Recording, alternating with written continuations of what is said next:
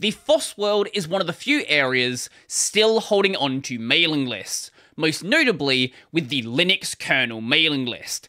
Distros have them, even some desktops have them, and one such desktop is GNOME, or at least was GNOME, because now they're in the process of finally shutting down their mailing lists. Now, this isn't just coming out of nowhere, this has been a very long work in progress, initially being announced back in 2020 when they opened up their Discourse instance.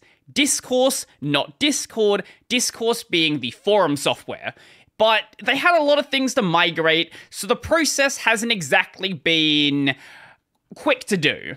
For any of the non boomers out there, I'll give you a TLDR on what a mailing list is. Think of it like a fairly early forum. Rather than logging into a specific forum website where you go and make posts, you go and reply to things, instead, what you do is you send an email into the mailing list to achieve basically the same goal. Generally, this is done with plain text emails, but there's no fundamental reason why you can't have HTML emails as well. It's just a lot of people in this space like plain text, so that's what ends up being used. And after you send in this email, whether it's a post or reply, it will then be sent out to everybody subscribed to the mailing list.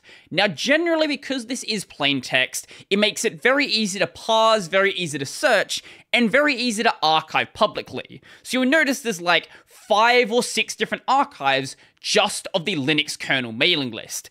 And being such a basic way to display data, it is great for people who use screen readers as well. Now you may be wondering, why are they shutting down the mailing list? It seems like it's been working just fine for all of these years. Well, there's kind of two main reasons, and a couple of sort of supplementary ones. The first main reason being the software it's actually running on. So, GNOME's mailing list, like a lot of the older mailing lists that never really migrated to anything newer, are relying on GNU Mailman 2. Now, the 2 in its name is very, very important. That means it's the Python 2 version, and Python 2 has been EOL'd since about 2020, but has effectively been dead for a lot longer than that. And as for Mailman itself, the last update it received was the 13th of December 2021. At this stage, it's basically in maintenance mode. It's not really going to receive any big feature updates. If you want to see that, you should go migrate over to Mailman 3, which is still actively being updated. And in a comment to the register, Neil McGovern said this Like many other projects which use Mailman, we are finding that relying on a Python 2 program is not sustainable. I know some of the like really old boomers don't want to admit it, but Python 2 is very long dead. No one cares about maintaining it. If there are any bugs or anything like that, you will need to do it yourself. And that just isn't really viable when you want to go and work on other things like the thing your project is actually about. Now, I mentioned Mailman 3, which I believe, as the recording of this, relies on Python 3.7 or newer. It doesn't matter exactly which version it is, either way, it is Python 3. And you can absolutely migrate a Mailman 2 instance into a Mailman 3 instance. There is documentation on how to do this on the Mailman 3 docs. But when we're talking about one mailing list, this is totally doable. When we are talking about the size of the GNOME mailing list and how many sublists it has, that is going to be a very, very big process. Especially a big process when you don't really care about the existence of a mailing list. I'm sure if the Linux kernel had to do it, or someone who really cared about them needed to go to a newer version, they would do it. GNOME's not that project though. Now, I'm sure it's not every single GNOME dev, but a lot of them, especially a lot of the influential ones, don't seem to like using mailing lists. For example, here is a comment from eBassi, otherwise known as Emmanuel Bassi. Some were saying that sending in patches via a mailing list is a great workflow, and that's basically why the Linux kernel uses them. And eBassi said this if only. Patches as email is terrible even on the kernel, and it's still mostly used because of Stockholm Syndrome, not because of any technical merit. Now, I'm sure he's being very um, inflammatory on purpose, but it's very clear that he doesn't like a mailing list. And outside of business usage and basically just that, a lot of young people, even young developers, don't really use email that often. If I want to communicate with someone, even a lot of the projects I want to communicate with, it's going to be done through some sort of discussion platform or messaging platform. It may be proprietary, it may be open, but usually it's not done through emails. Yes, a mailing list absolutely works in the Linux kernel, and there is no shortage of Linux developers, but we have to acknowledge that using a mailing list as your main form of discussion basically acts as an unnecessary barrier to entry. The vast majority of developers and the vast majority of projects, even in the FOSS space, don't do the communications through a mailing list, and it's very likely that when you get involved with something like the kernel, that is the first time you've ever had to use one. But as I briefly touched on earlier, the plan isn't to reduce the overall amount of GNOME communication. In fact, it's the exact opposite. And this takes us to the second major reason reducing the amount of fragmentation amongst the GNOME communities. So, for all intents and purposes, a mailing list is basically just a forum. It serves pretty much the exact same function, and that is where their attention is being shifted. So I mentioned them spinning up a discourse instance, and you've probably seen this instance before. This is just the GNOME forums. And Discourse is a really popular piece of open source forum hosting software used by projects like Manjaro, like Framework, like the NVIDIA developer forums, and even things like the Roblox developer forums, when you start realizing how discourse actually looks, you start noticing it basically everywhere. Now, initially, the Discourse started as a new home for GTK Development Talk, which previously was over several mailing lists, but also as a place to discuss GNOME just generally as a platform. Since then, other categories have been added, and some other mailing lists have migrated to it as well. Tracker, GNOME Contacts, to name a few examples. But this basically creates a problem. Now you have pretty much the same discussions happening in two separate locations. So you may not know just at a glance where a project you're looking at is actually being discussed. And the GNOME infrastructure team coordinator, Andrea Veri, told the register this.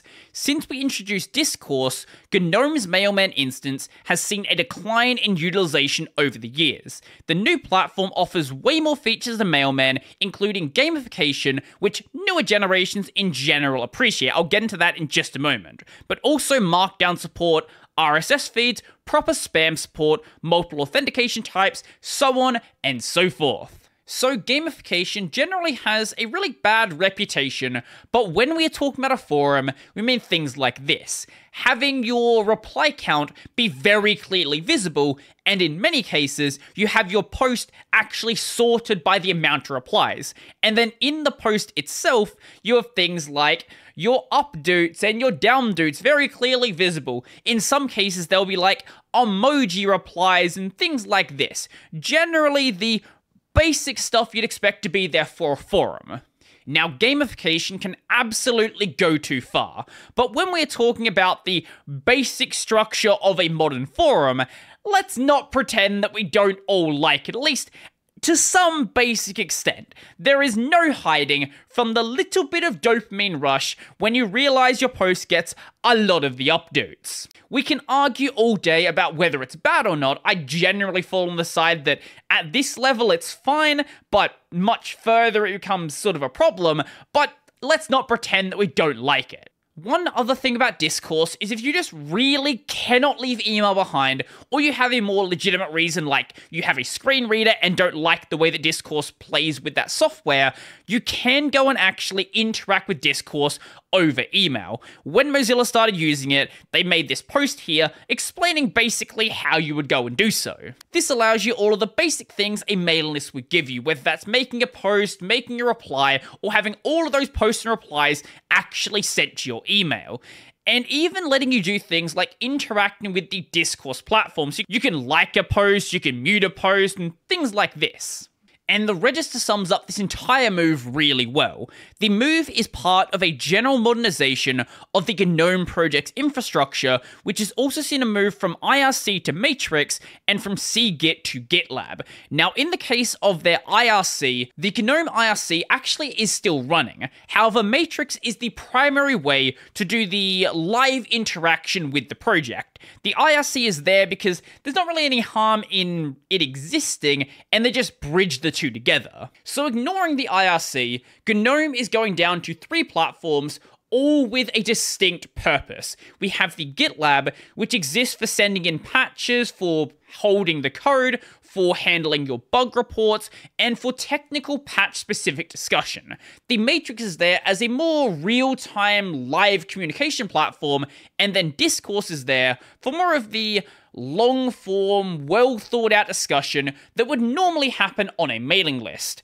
And all of these platforms remain open source. Now, much like the long dead GNOME Bugzilla, the archive of the GNOME mailing list is going to remain online. So if there's anything you want to go back and check, or for people like me, if I want to go do a video on some random thing that happened 10 plus years ago, doing that research is still going to be pretty easy to do. There's not really any reason to take it down. Sure, you could argue that it's taking up storage space, but it's not really a networking issue. How many people are going to go visit like a random email from five plus years ago? From my perspective, of someone who just looks through the mailing list archives, I personally don't hate them. I find them very easy to dig through because, as I mentioned, they're pretty much just plain text.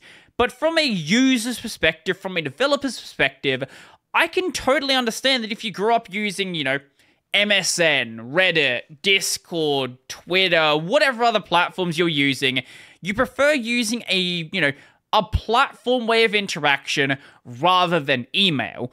But many of you guys may differ, so let me know your thoughts down below. Do you like mailing lists, or do you think this is a good move that other projects should follow suit with?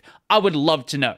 So if you like this video, I'm going to go and like the video, and if you really like the video and you want to become one of these amazing people over here, go check out my Patreon, subscribe, Liberapay linked down below. I've got a podcast called Tech Over Tea. I've got a gaming channel called Brodie Robertson Plays. That's going to be it for me, and I'm out.